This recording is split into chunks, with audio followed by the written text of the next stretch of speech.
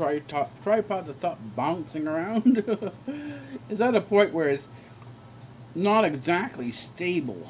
But anyways, it is uh, nine, nine o'clock in the morning, and this I think it's Friday, August seventh. And we're starting our vlog again a little late. Things are shifting again. Uh, why things shift, I don't necessarily know why, but they do. Uh, and this is sort of the consequence of a 24-hour day. Is, that sometimes you never know when what what things are going to come your way. In this case, I was waiting for a game to start playing, uh, but the servers have been down for since uh, six o'clock in the morning, and they were supposed to be back up at eight, but they're not back up again. They're not projecting. They're projecting that the servers will be back up again for gaming till about ten o'clock. So I probably won't come back to the gaming uh, aspect of things till about uh, noon.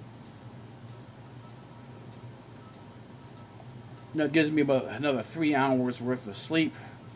But this is how it goes sometimes. If you're expecting something, you sleep for one or two hours, or maybe the most three hours, and you go back and you check things. And I have the same thing here with my observation of uh, the thermodynamics of the Earth. Uh, um, I have a th thermodynamic observation uh, uh, uh, available.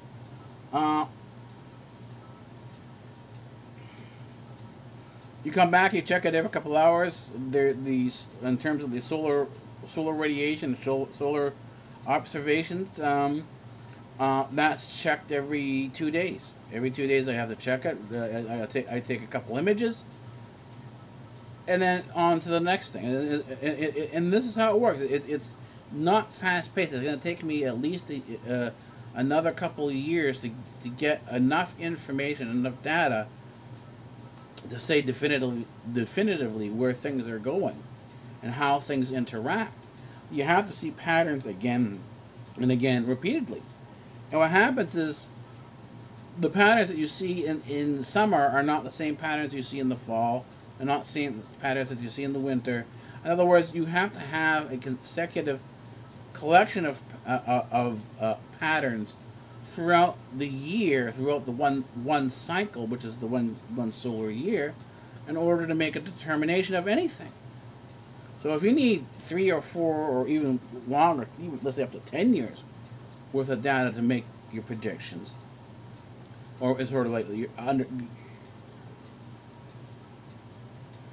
develop a better understanding. Because again, you're not predicting. Your prediction is more in the lines that you are looking at pattern patterns that repeat themselves on a regular regular routine basis. So you can say, okay, generally this is going to occur again every so many years. But how when you get down to it, the specifics of exactly what's going to happen, there is no prediction because it's going to change even over 10 years every year is going to be slightly different. It's not going to be exactly the same. You will have some pattern uh, uh, uh, generalities that will be the same, but the specifics uh, in terms of going getting down to minute structures won't be. And it's, it, what you're trying to do, particularly with thermodynamics and understanding the thermodynamics, you want to look for the mechanisms of thermodynamics. Is is is the thermodynamics that you're seeing understandable? In, in other words, uh, one of the simple principles of thermodynamics: as pressure rises, so does temperature. So when you look at a region, you look at the temperature rising. Is the pressure rising as well? If you can see a rise in the pressure and a rise in the temperature, you now have a, a confirmation of thermodynamic, ther thermodynamic mechanism. In other words, you're seeing the mechanism for why something's heating as opposed to as opposed to cooling. Let's say something is supposed to be cooling, but what you see is you see two streams of uh, of of moisture, uh, water vapor heading towards each other. They're going to collide. At the point of collision, the pressure is going to go up, and so is the temperature. Is this what you see in the collision of these particular systems? Now, typically, you're supposed to see uh, thermodynamics in, in, the atmosphere, which is which are, which is basically a gas, as fluid in thermodynamics, and more particularly fluid because things flow. It behaves like a gas or it behaves like a liquid. And this is a, a fluid or flowing dynamics. That's the mechanism you're looking at. But typically, if you ask the question, okay, if this is the case, you look at a cloud and ask yourself the question if a cloud is a gas, what's containing the gas? What's containing the cloud? And then they begin to understand that there's something more there going on in terms of the physics, because the, the, the, the that gas, that cloud, is not behaving as it would call a standard or classical gas, uh, which would find in a laboratory where you find controlled conditions. This is in an uncontrolled condition. And All of a sudden now, you look up at the sky, you look at the clouds, you're watching your clouds, and the clouds hold their shape. The question is why? Why does this gas hold its shape? What's containing it? And this is where you, you, begin to realize no matter how much mathematics you have, the answers aren't necessarily there. And this is where these anomalies are the things you're typically after uh, when you're doing your research. And this is what put you back in middle school all over again because you don't necessarily know the answer. You have some idea, and you and you cannot stand up there and give an, an, an amazing lecture on this because there's not much that's known. And the thing is, if you did put out the mechanism, a large chunk of it would be classified.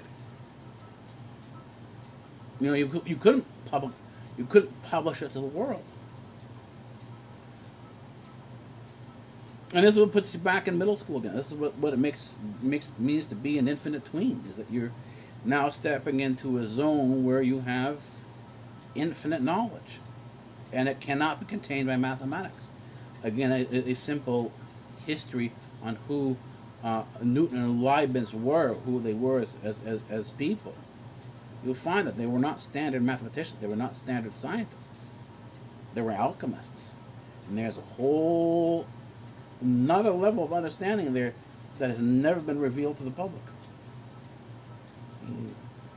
It's not necessarily forbidden information, information, but it certainly is hidden.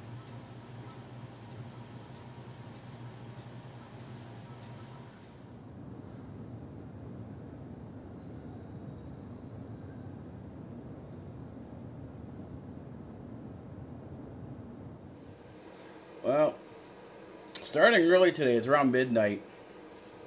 Uh, just on like Saturday, the August 8th, I think it is. Just finished YAWI Vlogs. And they're bringing up a topic that, that, that I thought was going to die out, but that it, it, apparently hasn't. It's the new, it's a new, the new uh, fart panic for 2020. Every so, every, every so often, people get on these uh, trends and kicks and so on and so forth without necessarily understanding what the whole issue is. They haven't they haven't done any of the background research. And this is imagine your kid. And this this is the hypocrisy of adults. Imagine your kid coming home, sitting down, watching TV, and writing a report on whatever whatever they have a report by watching TV, and only choosing the stuff they've heard around the neighborhood or from their friends. That's their only source they're taking from. What type of grade would you expect that kid to get? But this is exactly what happens with this great fart panic. This is what's happened with the environment and this whole CO2 thing. Uh, uh, it, it happens with the essential oil that it's happening now with TikTok. People have no clue what they're talking about. What they're doing is they're simply listening to what everybody else is saying, not doing the necessary background research to see what is actually going on, and then making their own pronouncements because, well, they're on the internet uh, as to what's what. And they say, well, TikTok has to go. Oh, well, are you sure? Why? Because TikTok's a bad app. Well, what happens on TikTok? And they don't they don't really know what happens. They don't know how it happens. And they don't know if there's other apps out there who do the, that does the exact same thing. And I can tell you that there are. Matter of fact, the latest to get the move on to the TikTok bandwagon is Facebook through um, uh, uh, through um, through Instagram. They've now created created their own TikTok. IGTV went away and TikTok came in. Same music, same rap music. And the thing is, the, the people that, that that they're objecting to, in terms of what how girls are dancing, it's always it's on Instagram. You can find go on Instagram. Type in cheerleading as, as your search. A cheerleaders and take a look what's going. on. Look at the dancers. Look, go do a search on dancing and see what they're saying or, or what they're showing. Same thing.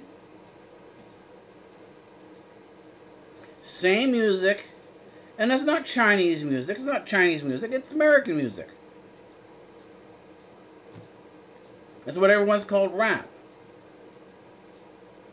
And it's all this, uh, because it's not. It's not necessarily black itself, but it, it's it's this uh, this whole attitude that everybody is ghetto. Everyone everyone lives in a hood. Not everyone does live in a.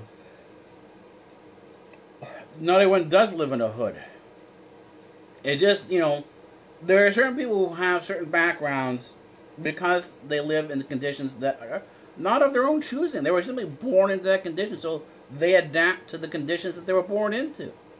If you're not born into those conditions, then you can you basically fake it. Mostly, a large chunk of these these these these people who are on uh, TV and celebrities and stuff like that, and the we call them the the, the, the, the Insta celebrities, they didn't have a bad background. this is this was an image that was created in order to sell records, in order to sell their music, and so they're selling a product, and what you're seeing is a sale, the sales pitch, and it's not Chinese. And the thing is, is that there's a lot more reasons why the diseases come from China and from that Asian sphere than, than, than, than simply, oh, it's the Chinese doing this. There's a lot more to it than that. But no one will sit down and do the basic research. I mean, this is what all the all the hospitals now. this is where the whole thing with this the Great Fart Panic. The Great Fart Panic was was was produced by epidemiologists. Who are the epidemiologists?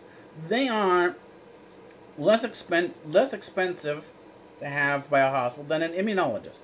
An immunologist is a fully qualified specialist dealing with infectious diseases. An epidemiologist is a data scientist. They do, they, they're a number cruncher. They work on models. They don't work in reality. So these model makers, these computers, these people who live within the simulation, and this is what the environmental, the the, the uh, international uh, panel on climate change, they're basing their stuff on, on on a computer model. It's not reality. It's a simulation they're reacting to. The same thing with the Great Fart Panic. The Great Fart Panic was created by a computer simulation. It wasn't real. It was it, it was a it was if you want to call it a data storm. But they didn't ask where the data came from and how it how it came about.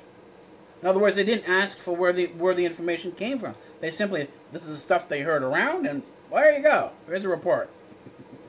We now have the great fart panic of 2020. Everything has to be locked down. You have to do social distancing. You have to wear masks, and you don't. In some of them, in some of the cases, you don't have to wear masks, but you do have to wear a mask here, and, and nobody knows why because there's no reality behind it.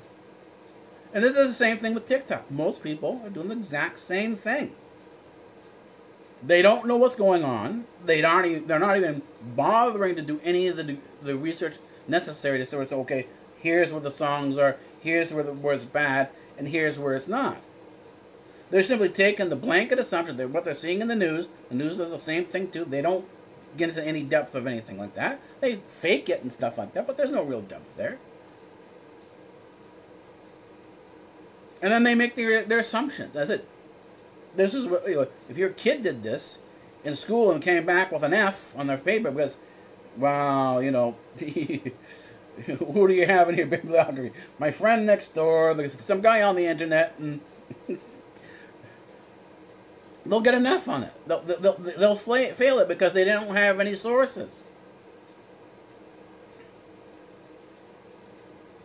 But it's this this is what's standard for all adults, and the kids will do the exact same thing that they see the adults doing because they're growing within that environment.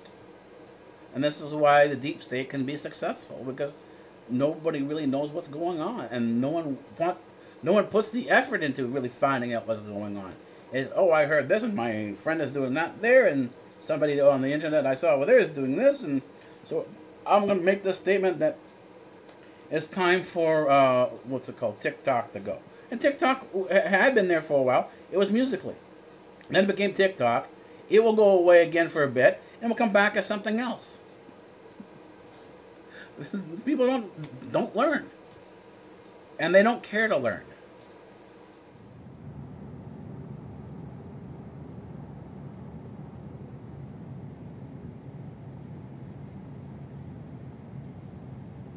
Well, it is time to end the vlog. It is 6.30 in the morning.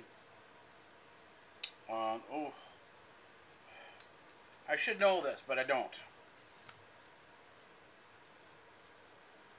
It slipped my mind. August 8th. Yeah, we're August 8th today. And for some reason, I thought earlier that it was August 9th, but it's not. It's August 8th.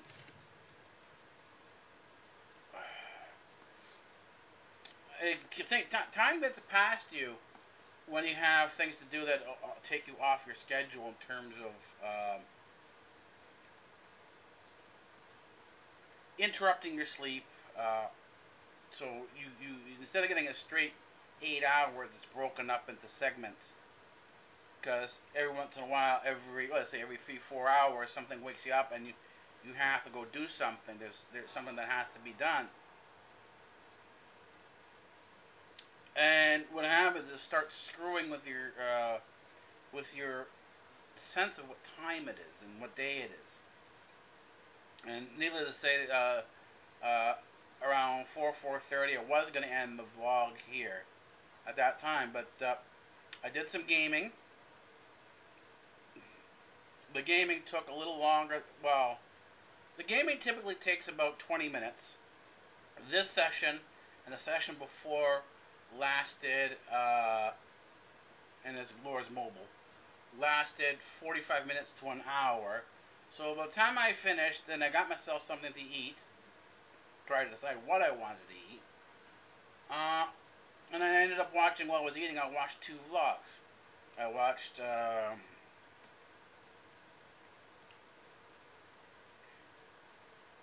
Eight Passengers, and now I just watched uh, Bryleigh Ann and both excellent videos. Uh, it seems, seems to me that uh, Eight Passengers uh, and the Leroys uh, both went to the same uh, whitewater rapids to to um, to go uh, whitewater rafting. I don't know if they met each other there or, or, or it seems that they were separate. They're separately.